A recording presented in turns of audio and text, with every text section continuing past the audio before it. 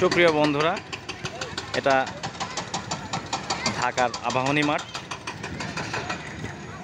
ছোট্ট ছোট্ট শিশু বাচ্চারা বিকাল, পড়ন্ত বিকালের এই সময়টাতে এই যে দেখতে পাচ্ছেন, সবাই পাশে গার্ডিয়ান প্যারেন্টসরা বসে আছে এবং বাচ্চারা প্র্যাকটিস করছে।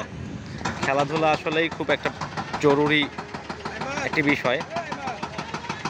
স্বাস্থ্যই সকল সুখের মূল।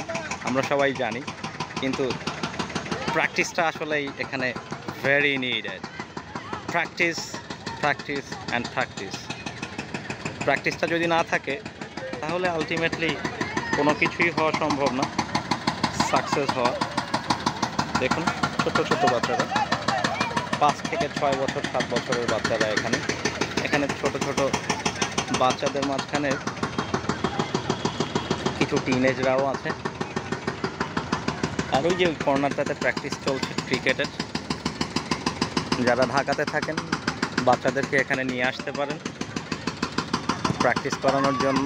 ওরা অনেক আনন্দ পাবে। ভালো থাকবেন, ধন্যবাদ, আসসালামু আলাইকুম।